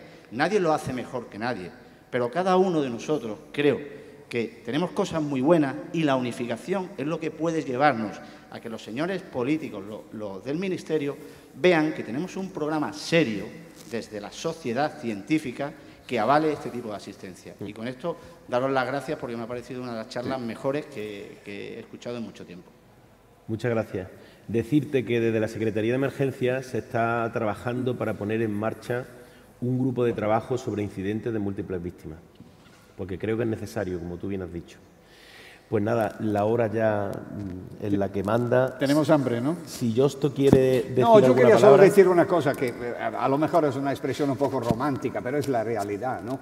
Que un servicio de emergencia, cualquier servicio de emergencia del mundo, si tiene algo de apasionante, y aquí le meto el algo romántico, luego hay que traducirlo en eficacia, es que en realidad, por mucho que sepas en el momento que sales, solo cuando llegas en el escenario sabes lo que hay en realidad. Es decir, que una cuota de improvisación, improvisación basada sobre experiencias, evidentemente, si no, no es fructífera, tiene que haberla siempre, porque es imposible, no hay dos situaciones reproducidas. El día que tendrás un atentado con 50 drones de 500 euros cada uno comprados en Amazon, soltando paquetes bomba, eso no puedes haberlo ensayado, Ervigio, porque es imposible ensayarlo todo. Sí, pero, tú sabes que los discursos eh, improvisados son los mejor preparados. Ya, ya, ya, ya, ya, ya, exactamente, exactamente. Muchas gracias. Pues nada, ha sido para mí un lujo tener a estos cinco compañeros de mesa y luego el debate ha sido también muy productivo y yo creo que es muy fácil ponerle las conclusiones a esta mesa. No sé si sabéis que en ninguna especialidad médica ni quirúrgica en España existe eh, la formación en atención a múltiples víctimas y catástrofes, en ninguna especialidad y es algo que hace muy necesario la existencia de la especialidad de medicina de urgencia y emergencia. Por eso yo creo que en esta mesa se pone mm, algo muy, muy claro y evidente, que es que este ámbito asistencial no es para aficionados, sino que es para especialistas. Muchas gracias. Exacto.